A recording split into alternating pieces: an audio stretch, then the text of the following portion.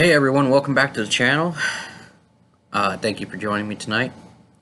So I've talked a couple of uh, different topics over the last few weeks, mostly writing, um, a little bit of video game knowledge here and there. Some people like it, some a lot of people actually watched that video. Uh, some commented.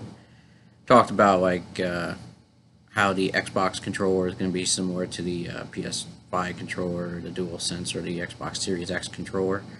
I said that's fine. You know, I expect two companies that are competing in a similar market to be close, and we'll see if speed is better than power, or power is going to overtake speed.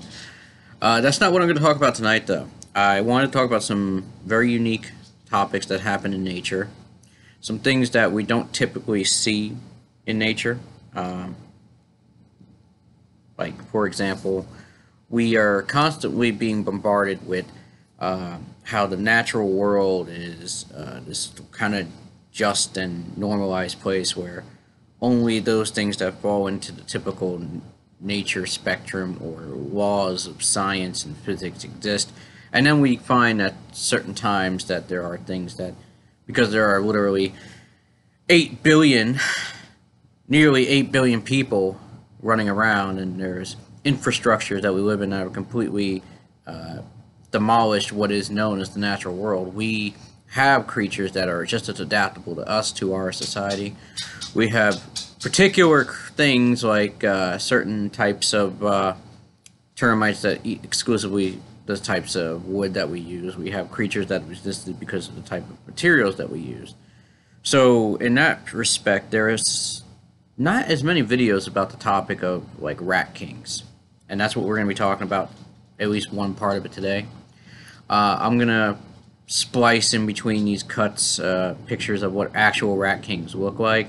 And then from there, we're going to uh, just discuss how and where these things come from, why they existed, how they became mytholo uh, mythological throughout the times, and why Europe is so fascinated by what is, and preferably, a rat king, or what we term as a rat king.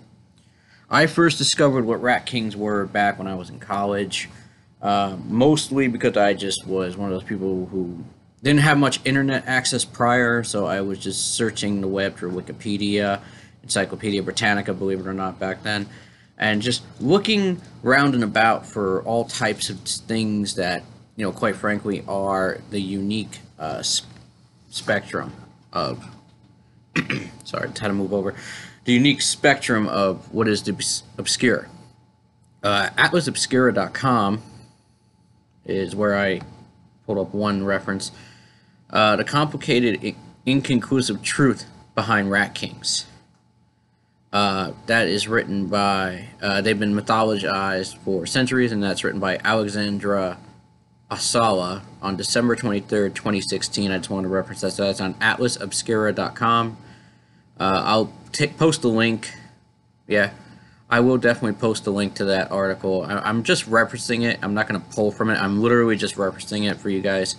And I will put that into, uh, sorry, I'm just messing with it, um, my, my link down below. So, um, basically, the concept of the Rat King is unique, and that it's something we've never really quite seen before in our modern world. But if you imagine a time where, you know, we literally took our feces and threw it onto the sides of the, uh, the road, and we were literally no indoor plumbing whatsoever, which is shocking to me because even the ancient Greeks had a form of some type of plumbing to get rid of waste, but they all wiped their asses with the same stick, and that's why most of them died. Uh, disease, disease, that's the thing, that's the commonality. We still couldn't quite get the concept of disease, virus, plague. Uh, all these things were just tossed up as mythology. Oh, God is upset with me this week, so he's gonna, you know, throw down upon us this massive plague, where in reality, you know, the fleas bite the rats, the rats bite the human, it transfers a blood-borne pathogen, and then it kills uh, three quarters of Europe. That's besides the point, though because humans, with our waste, and we've all heard this and the blah blah blah beating it down into us, we're just these scummy, nasty, filthy things. But nature itself is naturally filthy, and the second most abundant creature uh, mammalian style creature besides the great apes and ourselves on the planet is, of course, the rat. The rat is going to surpass us perhaps in survival rates that we've never seen. They can only live for three to five years, but in abundance, they can breed 10 to 20 times faster than most humans. And I know I just touched my face during a pandemic. Don't kill me. Uh, we can then uh, say that the rat itself is one of the most abundant creatures. It will outlast us, it will outperform us. It is smarter than we give it credit for, hence why we use it in lab results. And it, it basically is also one of the most disgusting creatures on the planet. Carries more bloodborne and airborne pathogens and ticks. It gives us more diseases than anything on the planet, next to the mosquito. The mosquito probably being the primary bloodborne pathogen uh, receptor for all of us. Uh, mosquitoes are probably going to do more damage to humanity than any other creature, big or small. Uh, the rat, of course, being still a fascinating creature. I, I absolutely love rats. I, I'm one of those people who truly thinks they are uh, probably more companion based than a dog. They don't take up as much space. Yes, they can be disgusting at times, but they use, they utilize their own urine and feces to mark it, it's uh, it's almost like us saying an email to another person. Another rat can smell it from like you know, five maybe I think I'm like what hundred yards away, five hundred yards away. Their their smell is enticingly stronger than most other creatures, only probably surpassed by the by the dog and the wolf, uh, respectively. But the rat itself is this incredible creature, and rat kings Rat Kings is what we're really talking about. I might just do other videos similar to this, but I'm going to focus on Rat Kings. I, I, I kind of go into this spitballing.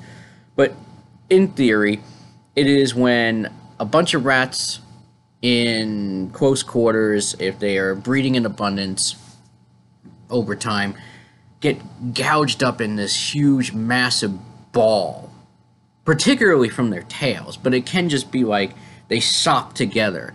So think of like sludge, nastiness, like maybe uh, an old-fashioned sewing seamstress factory where threads and needles and so on can get caught up in theory. Of course, we're not there to actually see a rat king get created, but we do know of it. So it is literally when five to five or more rats, I think the smallest ever was made up of consisted of three rats, get tied together by their tails. So they're intertwined. Now, rats, as we all know, are a very social species. They mate in abundance. They they feed in abundance. They'll feed on each other. They'll do really disgusting, horrific things that you know we as society would probably go, ugh, you know, because we're a higher thinking species. Or, but at the same time, rats are very communicative. They're very social. They're very intelligent but they also get stuck in these oddball situations where multiple rats are just literally tied to their tail and they cannot get out. They can't chew their own. They won't chew their own tails off, and they'll fight each other to try to not chew each other's tails, and they'll die that way. And so, some of the oldest and most abundant rat kings that we find are in Europe, especially during post or pre-industrial revolution.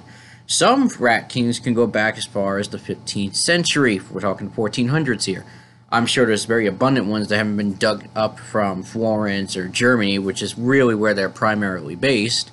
And rat kings themselves are these just strange phenomena that just don't happen anywhere more often in actual nature, but they do in our version of nature, which is industrialized cities.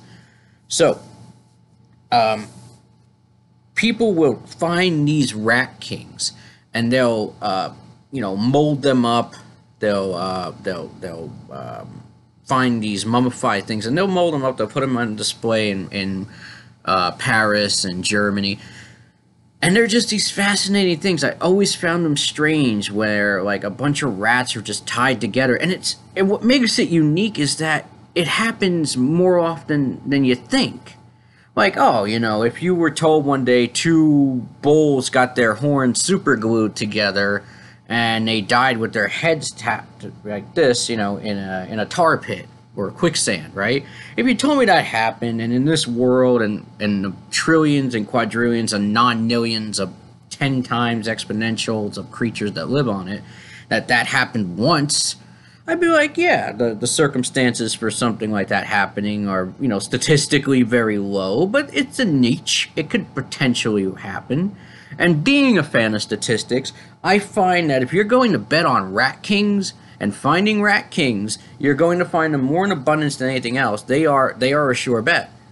If you were to tell me tomorrow that this very strange phenomena right underneath my own feet would be like there's 10 rats that are stuck together and they've been mummified for 30 years under uh, an, an apartment complex and they're all tied together by their tails and you told me that like some like you know i don't know twine did it i'd be like oh that's never going to happen again but it happens so often that we find so many mummified versions of this thing it's almost on the brink of conspiracy so for me, rat kings being what they are, and it's literally just rat king. That's what they call it. That because it's this abundance of rats tied together.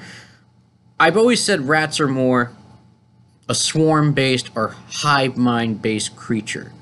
Yes, they're not insects, but they act and they swarm. They invade. They they they are organized and direct. They use urine, feces, chattering, chittering. They use all these things and markers to send through, and they act as a unit. And what fascinates me more, and I've learned this over the years, not just from multiple sources, but just from my own experiences, that rats in the wild are these gangrenous, nasty creatures that have no. They have sympathy barely for themselves, but they're. Think of them as like raiders going across the, the lands of like you know, Mad Max Beyond Thunderdome. That's what they're like. And so what they'll do is they'll send the dumber of the rats or the lesser rats in in the, the, the colony, and that's what they are. They are a colony, and I know it sounds like we're talking in insect uh, terms, especially like in terms of like bees and and ants and termites and so on. But the joke is the rat will outlast all of those things because of just how intelligent they are. They're not just a cluster of neurons, they're a full functioning mammalian brain that also acts in the insectoid style of swarming. So again, they'll take the dumbest rat and they'll say, okay, there's a piece of food over there. How am I going to know if that piece of food is healthy enough for the colony as a whole? So let's say someone put out a shit ton of, of raid bait.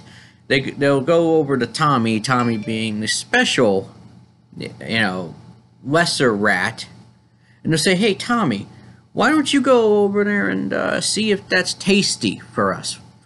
So when Tommy goes and he eats it, he goes, mm, this tastes delicious because usually poisons are slow acting and they force the animal to become super dehydrated so they're always searching for sources of water. So when they hear this, I mean, when they're when they're communicating this through uh, feces and they smell something that doesn't smell right, or they'll mark it with feces like, "Here, I want you to eat over here. I just shit there. Eat that."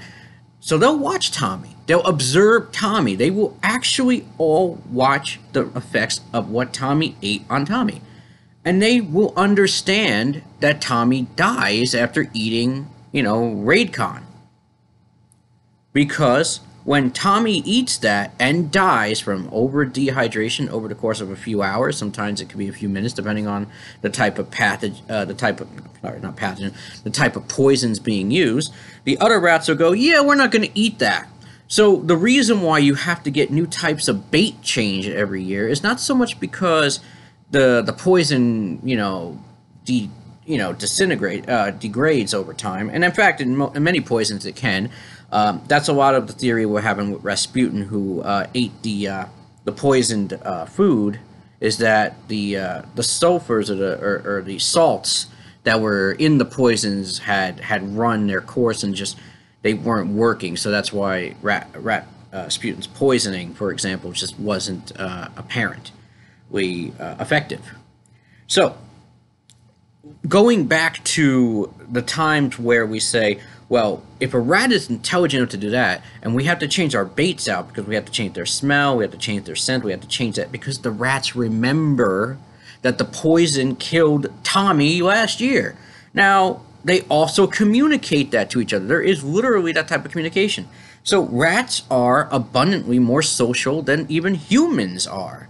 And that's why when I hear a story about wow, why is it shocking to me now that I know that rats are so uh, you know, family based, colony based that it's not possible for a bunch of rats' tails to get tied together. And it happens so abundantly more than we think. It you would think in history it should only have happened once or it was done by man. And this is something that has not happened only through the, the interaction of man and the influence of man only by, you know, having uh, made string. I mean, so yes, if it wasn't for man, in theory, this wouldn't have happened. But it's not like a person was just tying rat tails together.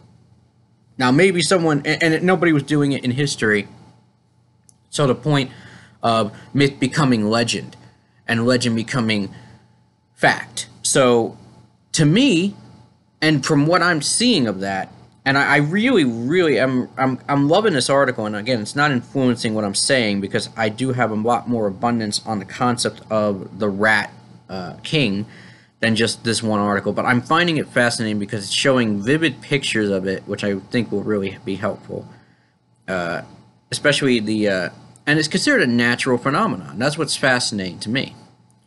And if you understand rats, and you understand why rats, and it tends to happen more with black rats than grays. And black rats, as we all know, are a European model of rat, where the uh, they mostly were formed in Germany uh, or found in Germany. But there's there's a million types of rodentia that that exist throughout history, and only this type of rat uh, tends to be the one that that stays that's that stays continuously in uh, rat king uh, form. But there are brown rats that have happened, and those are usually found in Norway. The the Nor the the Norwegian brown rat is probably the most common influencer of rats in America right now. Uh, fascinatingly so, they are very big rats, uh, not as big as our New York sewer rats, which are the black European black rodent, but or rat, excuse me, but rodent nonetheless. So when I'm looking over this, again, I'm not really taking anything from this, but I do mention I do think it's a good read, and I do would appreciate uh, being able to find this. It was written in 2016, so it's not that old. Uh, December 2016, so 2017 almost. So um, we we find these things in nature, and we're fascinated by it because, well, we think of what happens in nature and it goes with the course of perfection like we are perfect beings and that and and species are perfect and everything turns out exactly 100% of the time no it's usually about more like 97 to 96% of the time that things happen to go correctly man the, those uh, those numbers seem to be going down so when i talk about rat kings in regards to odd phenomenons and these strange natural phenomena that happen throughout history. I'm talking they are 16th century, 13th century, 12th, 18th century, one as early as the 1900s that we found in Europe. Most of them are exclusively in Germany. So if you were to pick a country where you would go digging and say, where am I going to find the most likely Rat King uh, exam, uh, or, or where am I most likely to find the Rat King? Germany. And there's so many places in Germany that have had this phenomenon that it almost seems like it is German centric, but it's happened other places. Like Paris has had one, uh, and it's just it's mythologized, but it, it does exist. And Well, it, again, it doesn't happen in the regards of actual nature, nature, but it happens because we inflict nature. But it does not happen because we literally do it. Now, there could be hoaxes to them, you know, like the, the famous mermaids or the jackalope, but it could be that, but I don't think so. Um, judging by the theories surrounding these things, uh, we find ourselves questioning, well, maybe in two months, or maybe if someone, you know, searches long enough and hard enough, they'll find the answers. I've always said that regardless of whether or not a rat king exists in nature or if it exists solely because of human uh, human impact on society and nature itself, which I think is the point, is that yes, without humans, rat kings probably wouldn't exist. But even with rat kings existing, existing now, the fact that more than one has happened, regardless of industrial waste, regardless of the industry complex or sewing uh, becoming uh, the popular way of making clothing and these mass produced places. I guarantee there's a million of them in China. I guarantee there's at least a million of these things lying around buried deep in China and other and other regions of, of Asia, Africa, wherever a rodent exists, and they exist on all seven continents. All. I guarantee you there's a rat somewhere in Antarctica. It's living fine because we probably brought it over there when we built one of our science labs. We can't escape them. People say the dog is man's best friend. I technically think rat is our best frenemy.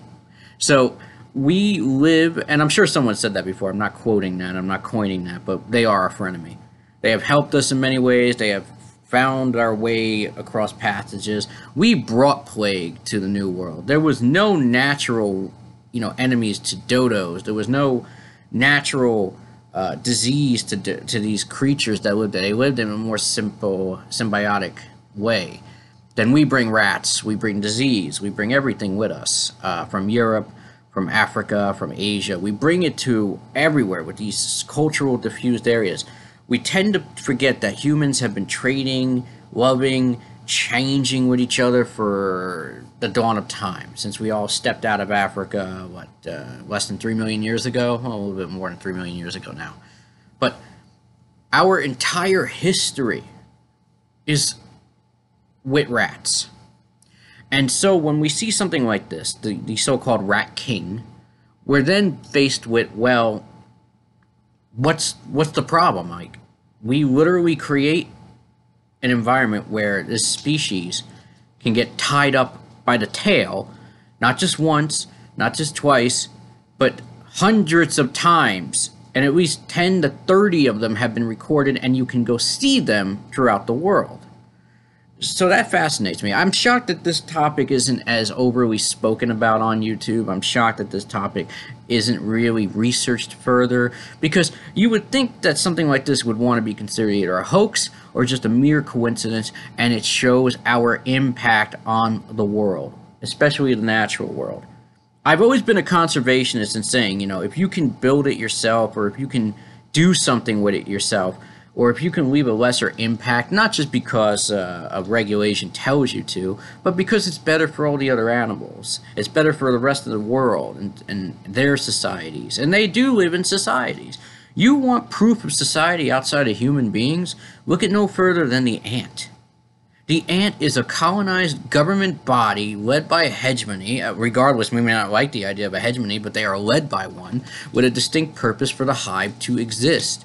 The hive exists simply because it must exist. The queen sits the hive and has the sole responsibility of keeping the hive alive by enforcing its will and hegemony onto the other ants, soldier ants, and all those worker ants that will protect that hive from other colonized hives. Because hives will try to kill each other. They war just like we do. Society is everywhere. We mimic what we've seen in nature. Nature does not mimic us. We learn from our natural surroundings. So when someone tells me that something like this is not just necessarily because it's coincidence, but it's something that we have impacted, I go, yes. In fact, it is not only something we've done an impact on, but rats themselves learn from us.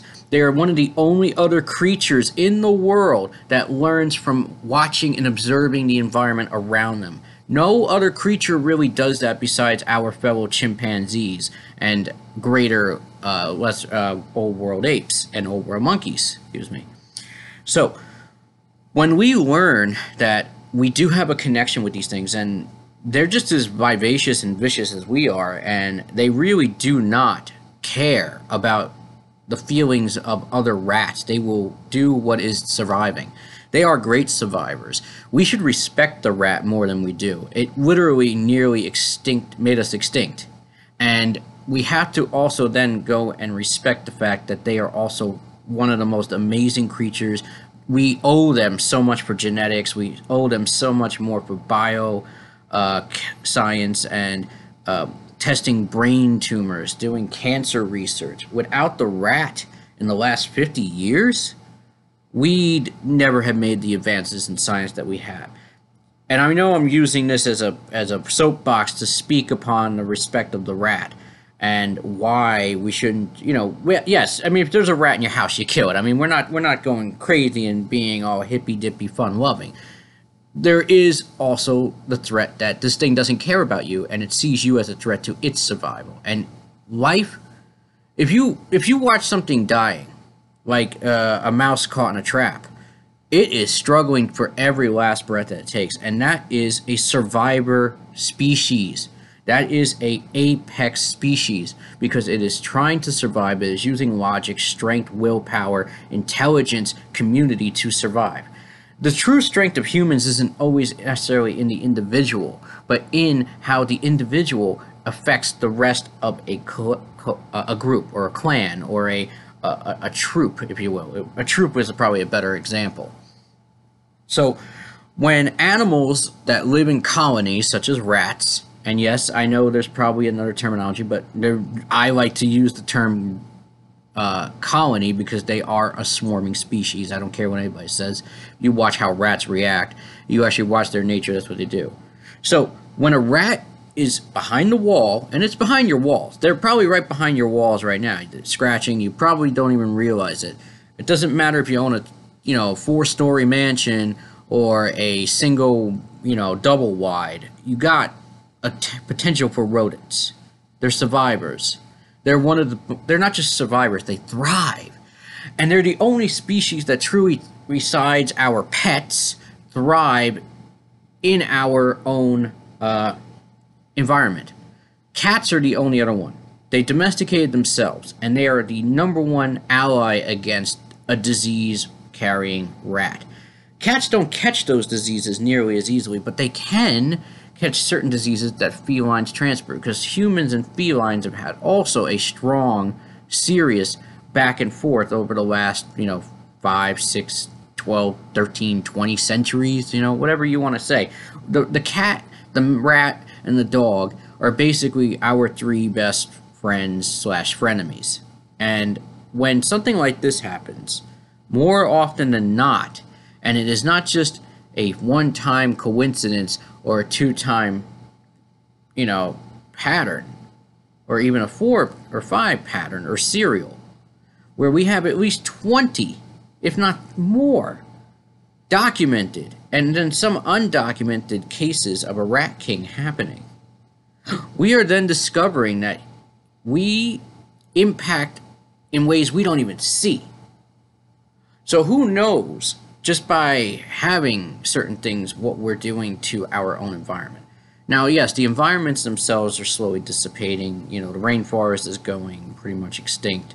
We we help perpetuate extinction processes.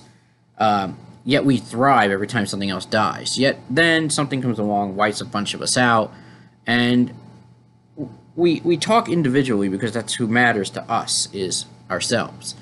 And then we see society that we need to somewhat have a conjecture of human thought and rationality by somewhat loving our fellow man, but also knowing that we can't always agree with and have a permanent connection with some of them, if not all of them.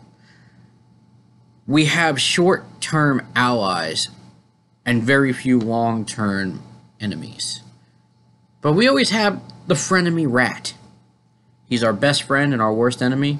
He's killed more of he's killed second to more of us than we killed of ourselves. He's like the second largest killer of humans. Fleas, technically, I know. I'm I'm putting so much into basing the rat for the flea that carries onto him.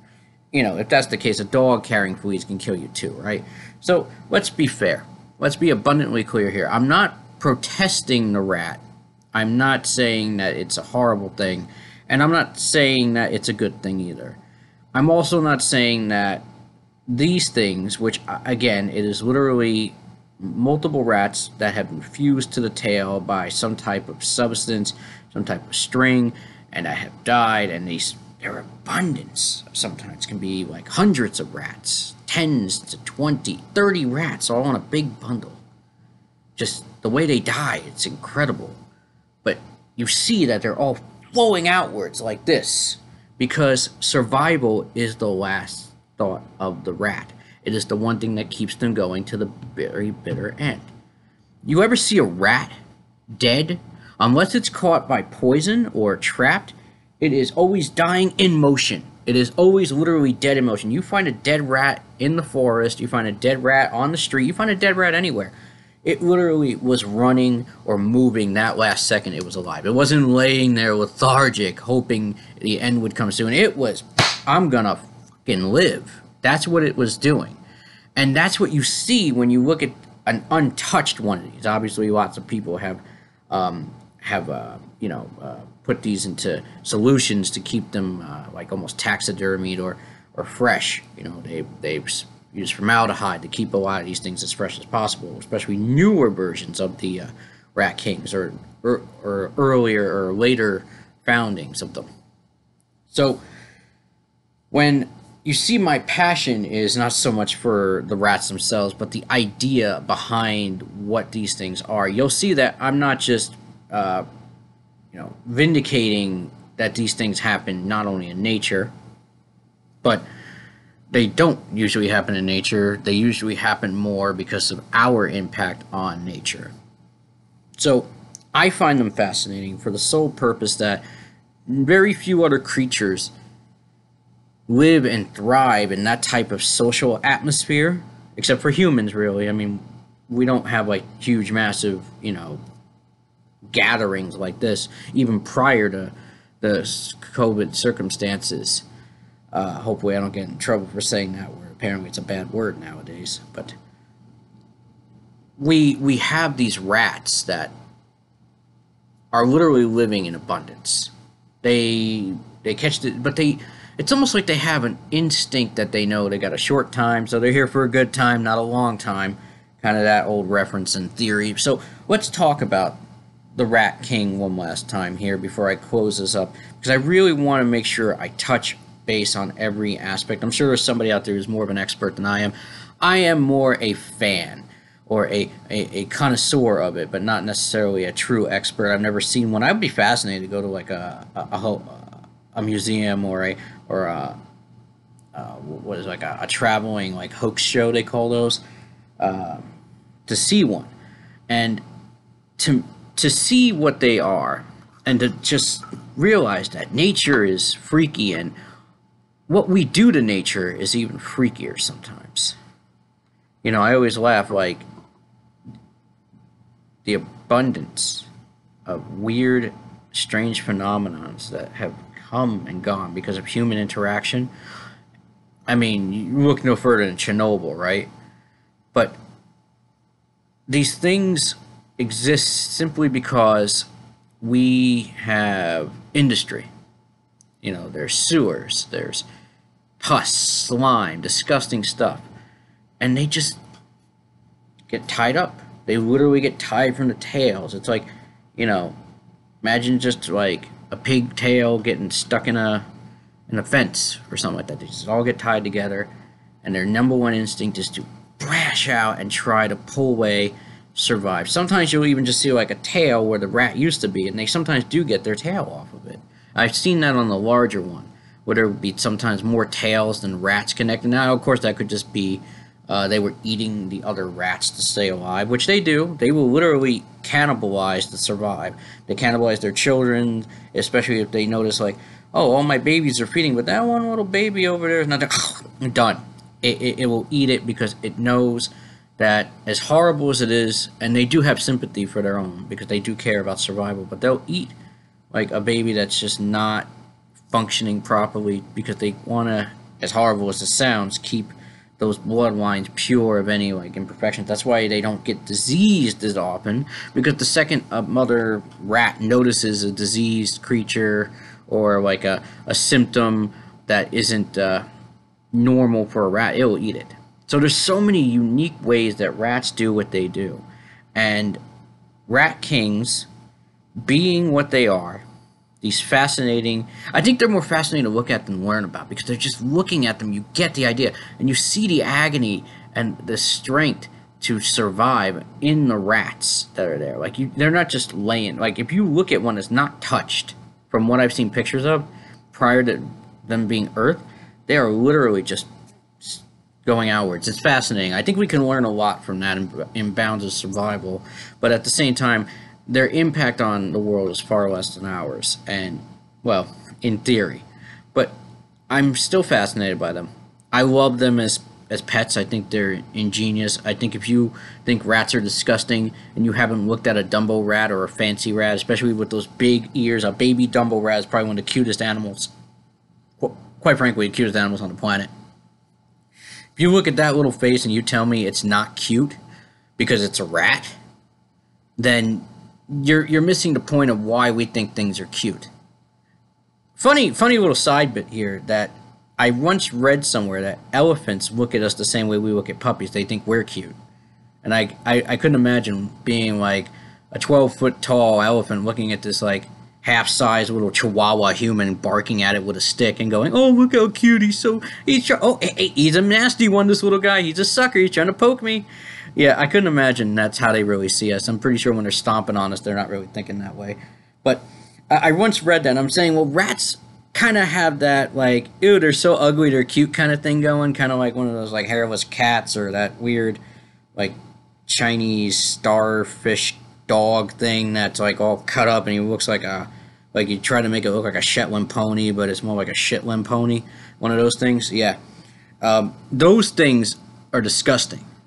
But rats to me are fascinating, and I do recommend looking it up. I, I will put this link in there. Thank you to this person's not probably gonna like the fact I named him in my in my uh, video. Alexandra Osala from uh, AtlasObscura.com. The complicated, inconclusive truth behind rat kings.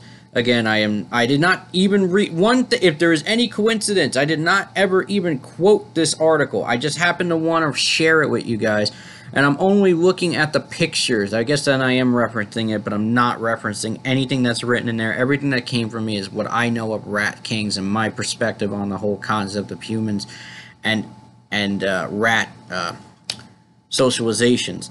So uh, I'm definitely going to share this in the video. Uh, you know, if you are enjoying these topics, uh, I will be doing all different types of topics. So I don't ask people to like and subscribe that often because I don't think you're always going to like what I have to say. I don't think you're always going to like my style. I don't think you're always going to appreciate the topic I bring at hand.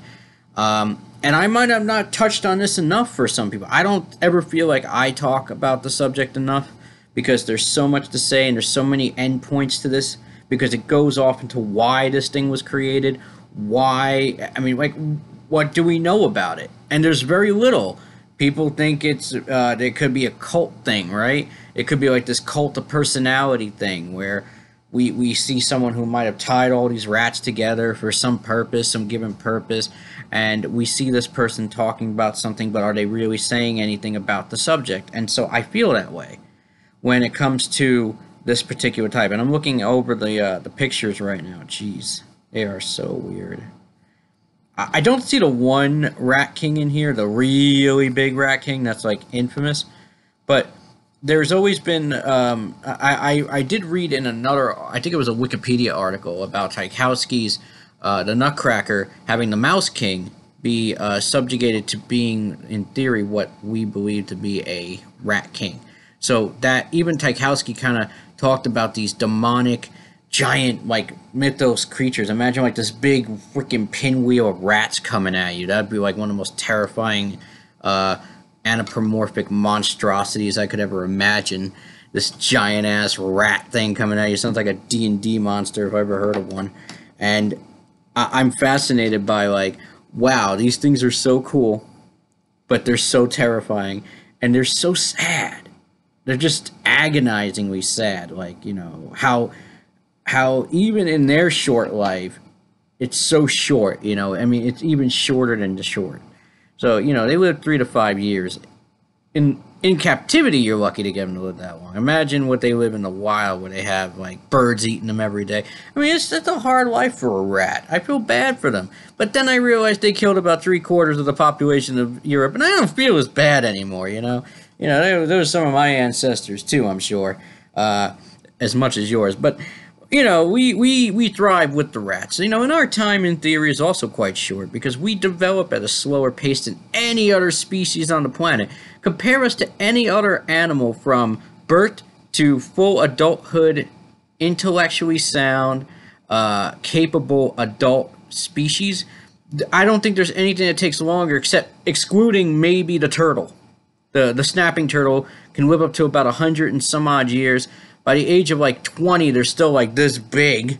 So they take forever to grow, alligator snappers. So there, there's there's very few things that, in longevity sake, have a short period of time over growth, and then a longer period of life after said growth has been fully affected. And of course, growth never ends. That's why we always have the anomalies that happen to us, even. So rats, to me, fascinating creatures. Rat King's one of the most fascinating, obscure things to happen in the history of the world. It, it really is. And it's so simple. It's such a simplistic construct of a weird ass thing that we tend to forget that it is just literally a couple of rats tied up. Uh, again, look at this. Over, um, look over this. I'm going to read it myself. Actually, I didn't want to read it uh, I know that sounds obscure and, and insane. Like, how the hell do you talk about a subject and not read an article? Like, I've read multiple articles over the last 15 years about the subject. So, I am well versed. Um, again, most of them come from Germany. It's actually a small region of Germany. And most of them are carbon dated between the years of like 7, 16, you know, 16, so 1500s to like 1820s. That's like the roundabout course, carbon dating is a whole other bag of worms that I wouldn't really want to get into. But you know, we do have uh, we we do have a great deal of unique things we can learn from this, and that whatever we do, whether or not we think, oh, my house really isn't impacting the natural world and everything we do from burning gas to you know packaging food, we are impacting everything around us, even as much as we try to disassociate and remove ourselves from that natural world and create our, you know, artificial society, we are still impacting us and impacting everything around us on a grandiose scale. So, I, I would just like to summarize this whole thing by saying that it's really hard to do the whole topic justice by just sitting here telling you what it is. Again, literally, just a bunch of rats that get their tails tied together or get can can you know mucked up in some way that they just all die in a group and most times from not being able to, function. Obviously they can't get away from each other not able to go and get food. They all die of starvation or they die of dehydrated uh, dehydrated uh, dehydration. Wow. More often that's what happens when I don't start with a drink. Um, so yeah, we we do see that, and it, it there is more to it than that. Obviously, like how does it happen and all that, but most of the time it's all theory, and some people don't even think they truly exist, and that they're just hoaxes. Uh, that that's been one of the biggest uh, over multiple uh, sources have said, oh, these things could be hoaxes. They could just be like, you know, snake oils. They're, they're just a, they're just an attraction to come see. But when we literally are pulling them out of the ground, and even like, you know, 400 years after the first one was truly discovered, I'm pretty sure there's even further ones that go far back that were discovered. It tends to be interesting that it's just, I'm more concerned like, how is this happening so often? It's so so vividly. You know, it's just amazing. But I think that's going to be it for this particular video. I'm going to leave this one in there. And as you can see, we're going to uh, finish this up respectively. For more information on like Rat Kings, I do recommend uh, checking out, again, Atlas Obscura. I'm going to share that. That's, and you know, and that's like, it, I'll be honest, from, from what I gather of it, it it's definitely also in an article written with some, uh, you know, uh, analysis rather than uh, just pure fact too. Uh, it's a factoid, if you will, if you want to use the some lexicon in this news speak that we have.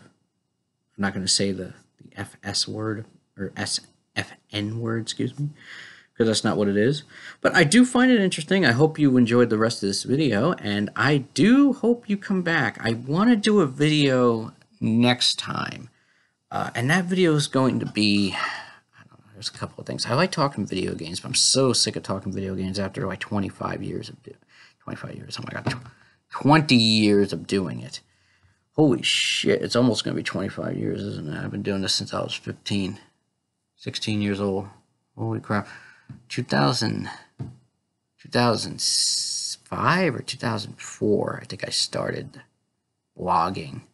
And I've always done video games and books. Books, books. Oh my god, books. Oh, I could talk for days about books and where they're going. But uh, speaking of books, no, I'm not. I'm not going to segue into my books. I've mentioned it too many times. Um, I would like to just say that the next video is probably going to be something different than this, and definitely something different from the writing aspects. I'm so sick of talking about writing. I find that the majority of people who want writing advice don't want to hear the actual writing advice because it doesn't pertain to their form of writing. It doesn't have any true interpersonal connection. Writing is personal uh, I feel sick sometimes when I'm writing. I literally get sick to my stomach when I'm trying to finish something up and I'm trying to, uh, you know, pontificate a topic. I don't know. Lately, I've been like uh, little little foggy, so who knows? I'm I probably just so sick of just talking about the subject of writing and writing about the subject of writing because Nobody wants to listen to you unless, you know, well, why should I? Who are you? Did you ever get published? Did you ever have this? And even if you were, like, whoa, are you a New York Times bestseller? You know, you get those kind of people too. Chuck Palahniuk just put out a book about writing and his process, and he has a really unique concept. He's got a good topic. Uh, his way of writing is very fascinating, actually. And I was looking it over. I was reading the sample of it. I do recommend some people take a chance to uh, read that. Uh, what was the name of that book? Hold on a second. I'm gonna pull it up. I know. I know. Uh, just off the I put the off the cuffs here, but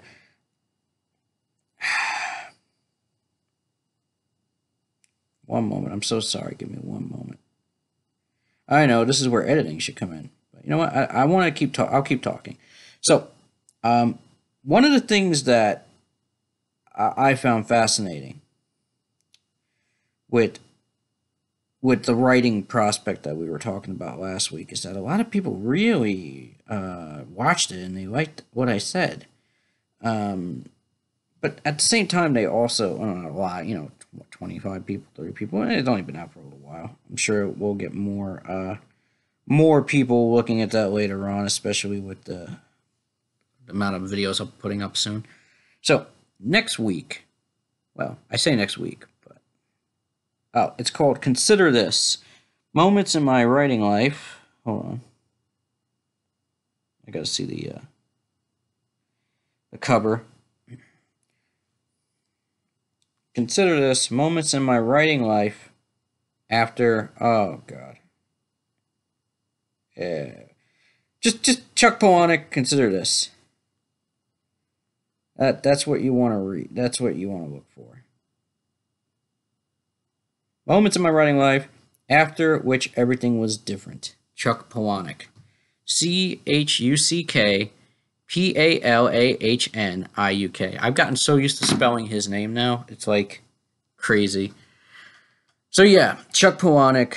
I recommend looking it up. I read the sample of it so far. I'm a big fan. I think he's a little you know, transliterative. He's a little weird, but some of the stuff he writes, eh, it's a mixture between good and bad, poor and spectacular. So, next week's video, next video in general, I keep saying next week, but it's probably going to be sooner. Uh, that's going to be about at least, eh, it'll probably be next week. Oh my god. I ruined this perfectly decent video. Anyway, we'll, we'll be talking about some other topics in general. I, am thinking of a couple of different topics, but I don't want to say one and then people get all excited and I do another. But it will be similar to something like this, except a little bit better researched. I didn't want to research a lot on this because I, I didn't want to kill the flow of what I really wanted to speak about entirely about rats and rat kings. But as you can see, this video is probably less about rat kings and more about rats, but it shows you how it happens. At the end of the day, we are all trying to survive, and this creature is literally trying to survive. What it does is it infatuates and throws me a curveball every time I think of some weird shit that happens to them. And in, in anything in nature. And then I say, oh, wow, you know, look what we did.